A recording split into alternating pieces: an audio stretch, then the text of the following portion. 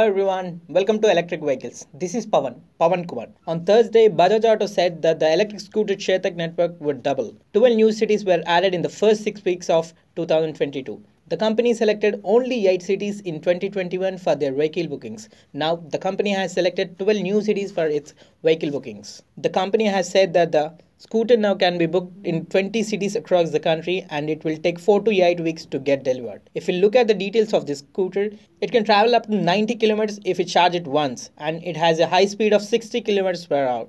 This scooter comes with lithium ion battery and it will take 5 hours to get fully charged. The scooter is available in 4 colors.